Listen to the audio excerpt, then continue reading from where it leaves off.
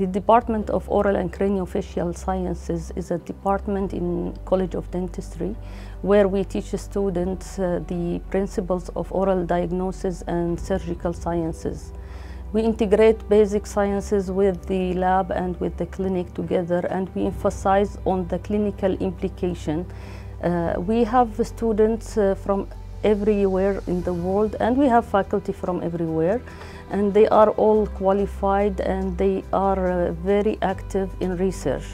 This research, they use it for uh, teaching, so we involve students in research from year one and uh, they keep uh, doing that until they graduate. Also, this is important for postgraduate where we will have also master uh, in uh, uh, oral surgery soon. And uh, we teach uh, the students how to diagnose the disease as part of the health in general. And we emphasize on the health of uh, community.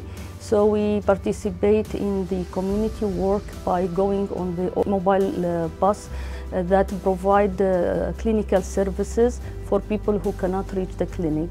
Also, we give a lot of emphasis on the people who has uh, difficulty uh, in uh, reaching oral health or having difficulty to access the system.